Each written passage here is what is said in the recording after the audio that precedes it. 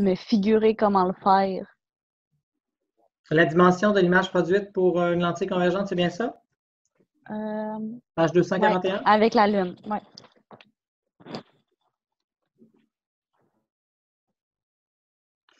Donc, dans le fond, on demande la dimension de l'image produite par la lentille convergente qui a une focale de 2 mètres. Donc, on a une focale de 2 mètres. C'est une lentille convergente, donc c'est plus 2 mètres. Ça marche? Mhm. Puis, euh, on veut savoir la Lune, ça va être quoi comme dimension de l'image, la hauteur de l'image? Ben là, dans le fond, ouais, on peut aller chercher la hauteur de l'objet. On va aller chercher dans le Benson au début là, du Benson. euh, la hauteur de le, le ray- le rayon de la Lune, on peut prendre le diamètre de la Lune, donc deux fois le rayon, qui est de 1,74 par 10 à la 6 mètres. Maintenant, j'ai besoin de la distance aussi, parce que ça, la distance entre la Lune puis ma lentille, la Terre, en bout de ligne, ça va être mon P. Fait que le P, ça va donner, dans le fond, la distance Terre-Lune. C'est environ 3,84 par 10 à la 8 mètres.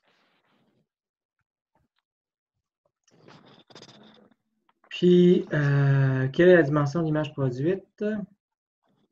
Ben là, on veut savoir YI.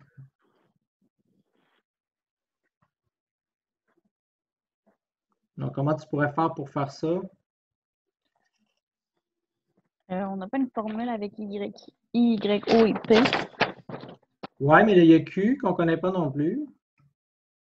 Fait que dans le fond, si on regarde On les peut deux- connaître, on connaît Q avec la formule 1 sur F est égal à 1 sur P plus 1 sur Q. Exactement.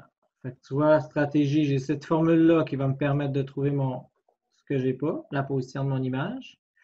Et après, ben, je peux faire moins Q sur P est égal à YI sur YO.